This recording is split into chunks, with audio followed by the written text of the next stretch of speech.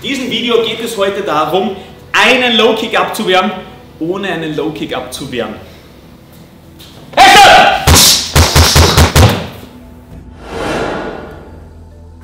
Heute geht es um einen runden Angriff zum Oberschenkel, zum Knie, der Low Kick.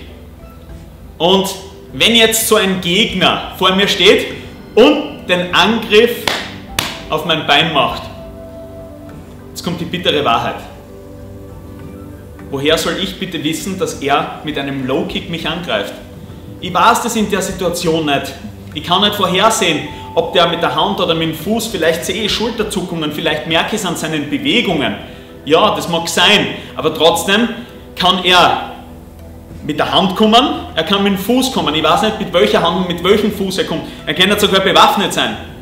Also muss ich jetzt da in der Selbstverteidigung einfacher denken.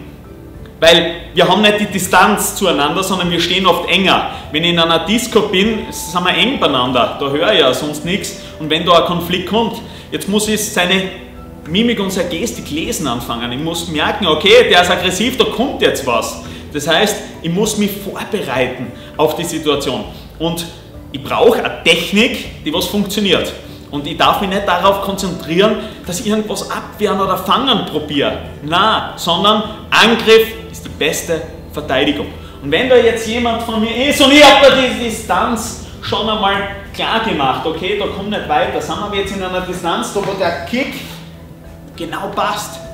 Und warum soll ich jetzt da stehen bleiben, wo er mich gut treten kann? Vielleicht ist er da Experte darin, vielleicht macht er Kampfsport und ist perfekt in die Kicks und kommt doch richtig schnell, so dass man das nicht sieht. Weil ich kann so schnell einen Angriff geben, jetzt komme ich, sehe ich das nicht kommen. Und jetzt kann es schon sein, dass ich da einknick und dann legt er los mit seinen Fauststößen.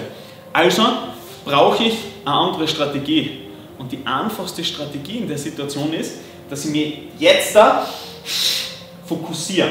Fokussiere auf seine Mitte. Und ich habe da jetzt die Augen, die Nase, Mund, Kehlkopf Solarplexus und Unterleib als Linie und die attackiere ich. Wenn er zuckt, kicke Und da ist wurscht, ob er schon was gemacht hat oder nicht.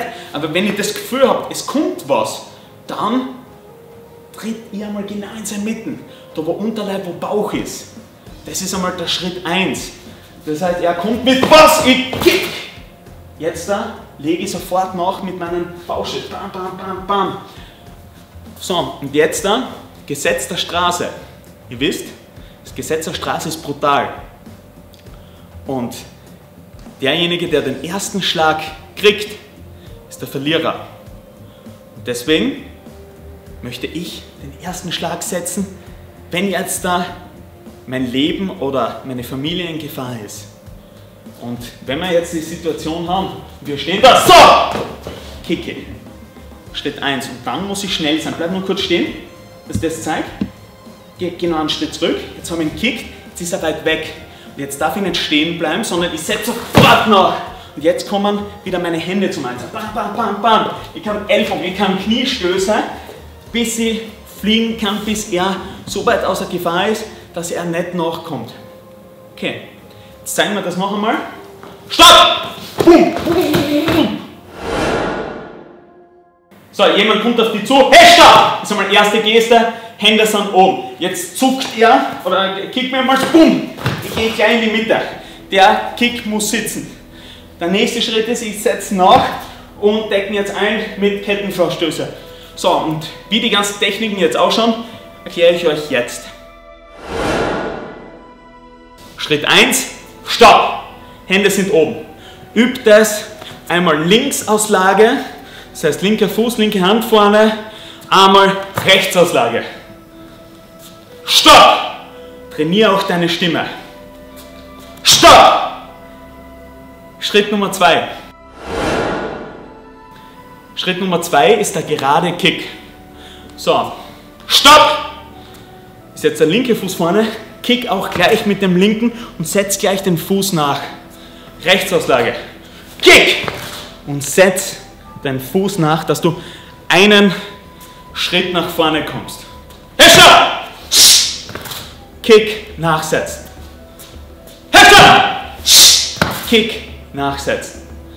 Und jetzt da versucht, dass der Kick nicht von unten nach oben geht, sondern dass du den ausstreckst. Dass du zuerst dein Knie anhebst und direkt nach vorne die Bewegung machst. Und jetzt kommt das nächste, dass dein Körper nicht das macht, dass du dich wegdrückst, sondern du musst nach vorfallen. Das heißt, dein Oberkörper ist zum Gegner hingerichtet. Dann die Kettenvorstöße. Du hast gemacht, hey stopp! Kick, absetzen. Erster Fauststoß, direkt die vordere Hand trifft. Die hintere wechselt über die Mitte ab. Die hintere wechselt wieder über die Mitte ab. 1, 2, 3. 1, 2, 3. So übst du auch aus Linksauslage. 1, 2, 3. 1, 2, 3. Bleibst Linksauslage, nur Handwechsel. 1, 2, 3. 1, 2, 3. Rechtsauslage. 1, 2, 3. Links. 1, 2, 3. Dass du, egal welcher Fuß, egal welche Hand vorne ist, dass du das immer machen kannst. Und wenn du die Schritte beisammen hast, trainier das. Hey, stopp! Kick! Bam, bam, bam! Reinmarschieren. Kontrolle. Wenn du einen Partner zur Verfügung hast, stellt euch einfach so auf und jetzt macht es gleich so ein abwechselndes Spiel draus. Weil ich kick jetzt ihn vorsichtig und drücken weg, er mit. Ich wieder ihn. Und ich schaue immer, dass ich nach vorne falle, meinen Kopf vorne ab. Dass ich gleich zweiten Schritt und so beide Hände so vorne habe. Und jetzt haue ich da in seine Handfläche locker rein, nicht auf seine Finger. Dann macht er das gleich bei mir. Kick und er setzt sofort nach. Somit trainiert sich das da sofort nachzugehen. Ihr bleibt an eurem Gegner nämlich immer kleben. Und ihr verwendet einfach beide Beine, beide Hände. Was immer da passiert. Bum, bum, bum. Gut.